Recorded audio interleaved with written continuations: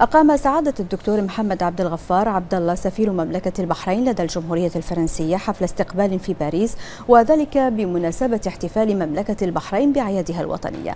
وقد حضر الحفل عدد من الشخصيات بالجمهورية الفرنسية من نواب وأعضاء في مجلس الشيوخ وشخصيات رفيعة المستوى من قصر رئاسة الجمهورية الفرنسية من وزارة الخارجية. كما حضر الاحتفال معالي الدكتور أنور بن محمد قرقاش وزير الدولة للشؤون الخارجية لدولة الإمارات الإمارات العربية المتحدة وعدد من السفراء العرب والأجانب المعتمدين لدى الجمهورية الفرنسية ومن المندوبين الدائمين لدى اليونسكو بالإضافة إلى رجال دين من مختلف الطوائف والديانات.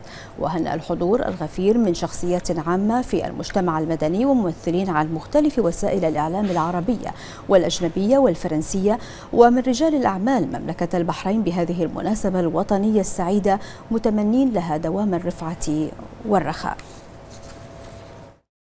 أقدم أسمى آيات التهنئة إلى سيدي حضرة صاحب الجلالة الملك حمد بن عيسى الخليفة ملك مملكة البحرين وإلى صاحب السمو الملكي الأمير خليفة بن سلمان الخليفة رئيس الوزراء الموقر وإلى صاحب السمو الملكي الأمير سلمان بن حمد ولي العهد. أقدم لهم التهاني الخالصة بهذه المناسبة الكبيرة.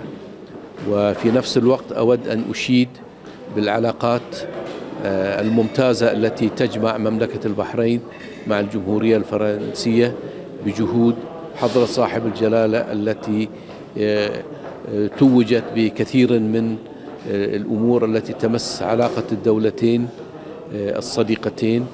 وهذه مناسبة جميلة أن نقيم هذا هذا الحفل حفل الاستقبال في مدينة باريس لأصدقاء البحرين من الفرنسيين والفرنسيات وكذلك الجاليات الأخرى الصديقة لمملكة البحرين. اليوم الوطني البحريني مناسبة غالية جدا علينا آه، جميعا في الخليج خاصة في دولة الإمارات.